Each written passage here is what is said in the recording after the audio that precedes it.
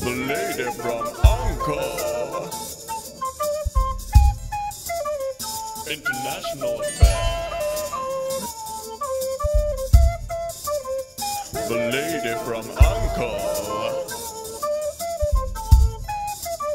The lady. Hi, today I'm going to take a look at claiming a, legacy YouTube account.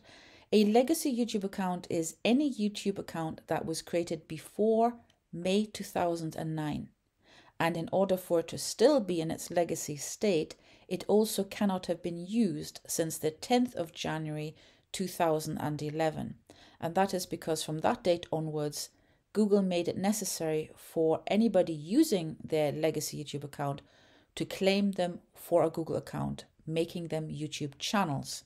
So if you're not 100% certain whether you still have a legacy YouTube account or even ever had one, go to your About section on your YouTube account and you can put forward slash about on it or you can use the tab and you'll look at the stats and you will see that in this case, uh, this example, it was created on the 20th of June 2006.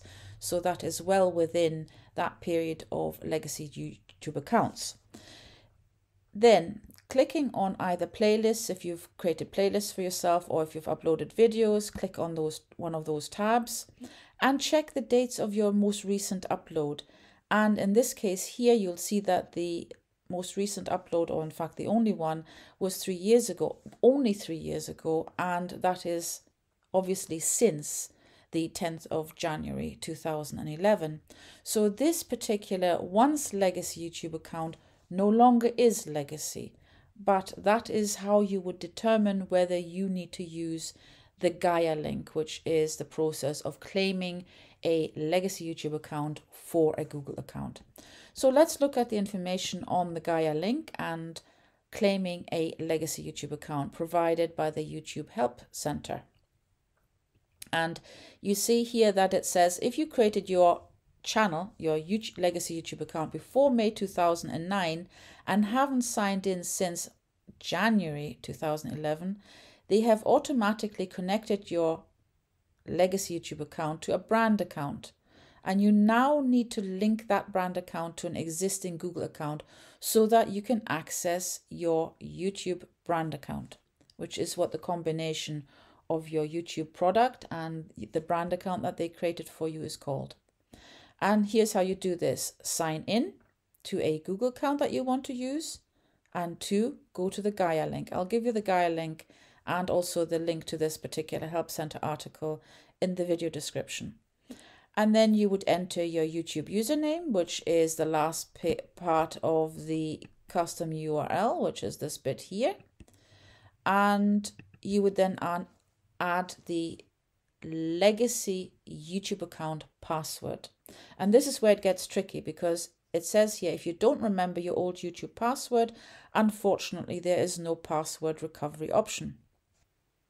But that doesn't necessarily have to be the case because if you remember when you first set up your legacy YouTube account, you actually were asked to provide an email address for password recovery purposes. Now, if you still have use of that email address, be it Yahoo, Hotmail, private domain, and yes, even Gmail, if you can make a Google account with that email address and then sign into that Google account before approaching the Gaia link, you might actually find that you can circumvent the need for entering the legacy YouTube account password. So I'm going to actually bypass this step here because you can go straight to the Gaia link and if you're not signed in, you will be asked to sign in. So I'm going to pick this particular Google account and I'm going to sign into the Google account. And just a little aside here, if you don't yet have a recovery phone number or recovery email address for your Google account, please consider adding them update your details, make sure that you have uh, working recovery options for yourself because Google have really, really ramped up security and it is incredibly important that you don't lose access to your precious assets. And here we are at the Gaia link. It's erroneously referred to as a claim a pre-Google YouTube channel process. It's actually claim a legacy YouTube account linked to a brand account process. we enter the custom URL or the YouTube username, which is the last bit in the custom URL. And then we enter the legacy YouTube account password. If you have entered the correct password, then one of two things will happen. You will either have the legacy YouTube account linked to your Google account, or as in this case, you'll be told that the channel is not available to be claimed.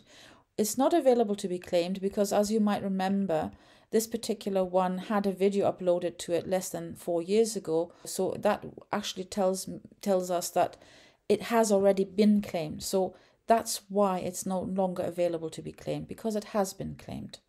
So that is how you claim a legacy YouTube account in 2021. Thank you for listening and goodbye.